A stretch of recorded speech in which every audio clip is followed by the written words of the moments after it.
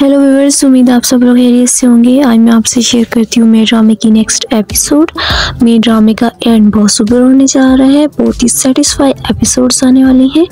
आयरा जो कुछ चाहती थी, अब वही हो रहा है। उसके भाई के साथ उसके घर वालों ने सैद के घर वालों ने जो कुछ भी किया है, अब वो उसका बदला लेगी। मुबशरा ने जिस प्लानिंग के साथ उसका रिश्ता मांगा है, उसको इस घर से निकालना चाहती थी, मगर ऐसा कुछ भी नहीं होगा, क्योंकि अब ये सब कुछ उलट होने वाला है। आने वाली एपिसोड में हो सकता है कि मुबशरा अपने घर नाराज़ होकर चली जाए। इसके बाद क्या होने वाला है? ये तो आप लोग जानते हैं। आसिफ और मुबशरा के वालद एक दूसरे से जुदा हो जाएँगे, इनकी राय जुदा हो जाएँगी। पार्टनरशिप वाला जो बिज़नेस था, वो भी खत्म हो जाएगा। आप आसिफ को बहुत कमीना इंसान दिखाया गया है।